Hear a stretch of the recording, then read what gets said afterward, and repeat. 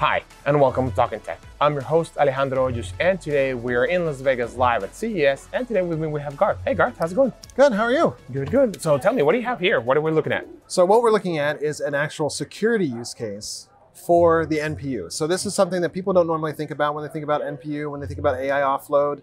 They don't normally consider a security use case. They think more about creator and maybe collaboration. But this is a really interesting one. We're working with a company called Bufferzone. Mm-hmm. And what Bufferzone has done is they've offloaded their uh, anti-phishing onto the, the NPU inside the Intel Core Ultra. And this is actually doing a couple different really good things. One, it's saving Bufferzone a ton of money. So they've been able to save about 91% in their costs by offloading this actually to the edge. Mm-hmm. And now that it's running locally, all of that anti phishing, all of those websites that you're visiting, um, all of that information is being detected locally. So let's say you're you know looking at some corporate stuff uh, you don't want to make you don't want that to like leak out none of that is going to the cloud it's all happening locally and it's running on the npu the other great thing about the NPU in this case is that it's not taking up CPU utilization. So we all know that there are some products out there that might really hamper your, your processor, that might make everything sluggish. By op- offloading that to the NPU, we can now improve system responsiveness